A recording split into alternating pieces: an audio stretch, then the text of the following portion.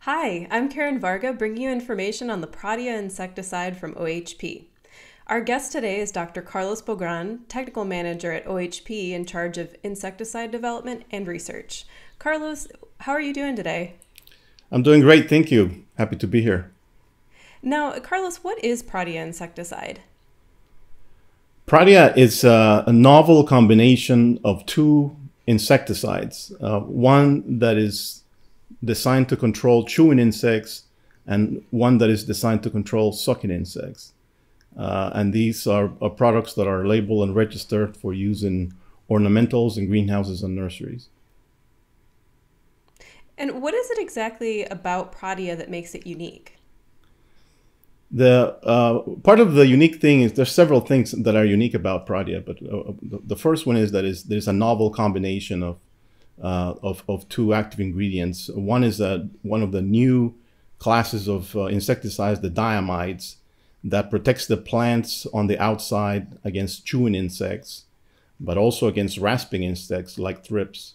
And the other active ingredient is one that protects the plant inside against sucking insects.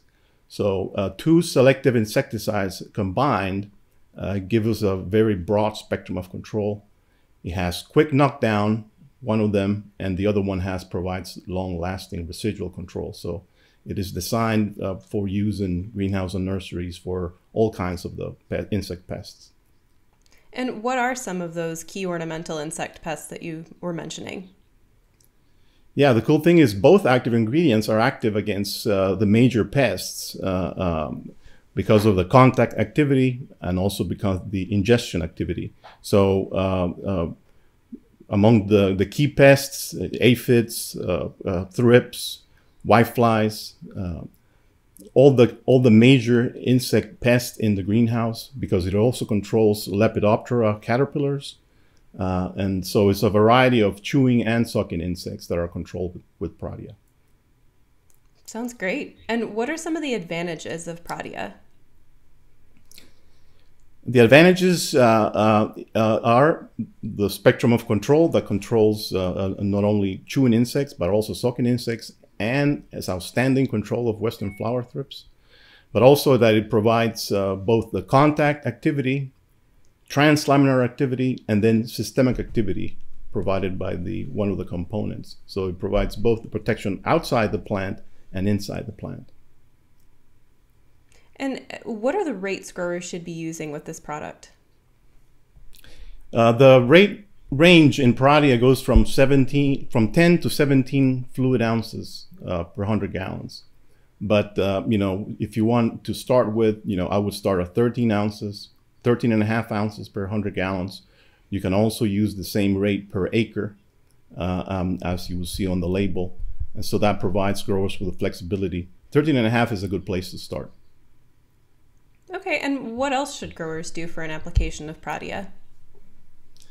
Um, we have seen that the addition of a surfactant, uh, a spreader type surfactant, you know, that that, that helps it again spread all, all over the, the tissue and gets absorbed into the cuticle of the of the leaf, helps the performance of the product. So, uh, when using Pradia, especially for those hard to control pests, the addition of a, a spreader type surfactant uh, enhances the application. So is Pradia safe to spray on ornamental plants even when they're in flower?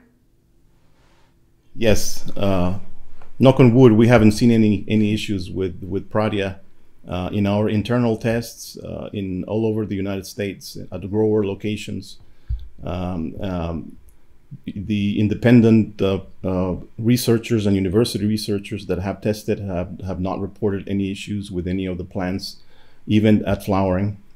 And uh, currently, the IR4 program has uh, Pradia under their crop safety testing. So we'll we'll learn very soon again on a larger variety of plants. But we have tested more than 100 varieties of bedding plants, uh, woody ornamentals, uh, perennials, and and luckily we haven't burned anything yet.